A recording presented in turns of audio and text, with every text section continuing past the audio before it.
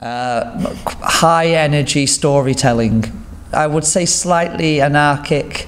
Basically, I watched too much Rik Mayall growing up, and there's a lot of that kind of in there. But that's also just me as a person. I can't stay still. Hannah? Yeah. Mine's more like deadpan, awkward, talk a lot about mental health and um, feminism, but funny. Uh, it's going to be an Edinburgh show, but we are doing preview shows around the country. And so we're doing it here on July the 14th on the Sunday, I believe maybe in this room. Um, but Yeah. the reason why we put the, the show, well, why we're doing the show, um, it was organised by Siân Davies, who um, is a comedian who applied for uh, a show in Edinburgh last year, a compilation show, and was then told after getting the part in the show that she'd need to trump up about £1,800.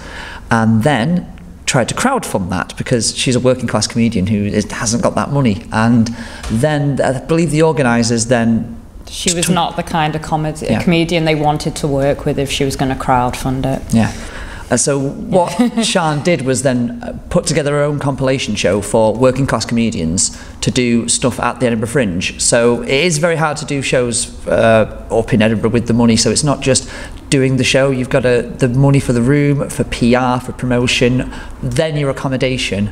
And so this, which she did the first time last year, and it was very successful. So we're doing it again this year, and um, it's just raising awareness for the fact that you can actually go to Edinburgh and not be upper to middle class and be living somewhere with and having that privilege. So Yeah, and the whole show is 100% crowdfunded Yeah. as well. So, and she wants, like, once everything has been paid for, the room, the promotion, the flyers, everything else is then put back into the act. So we're actually paid for our work, which is not done in Yeah. the fringe. No. So. The show we're doing here is a preview show, so I believe all of the acts are going to be on it. It's not going to be like at Edinburgh where we've got the two acts for each week. Uh, here, I believe all eight acts and Siân will be on the show, so it'll be more of a taster for the audience to see a bit of everyone, and that's what we're doing on the previews. And we're all different as well. So, like, you'll like at least one or two of Yeah, us because we all, you know, it's all, we're all tied together because we're all working class.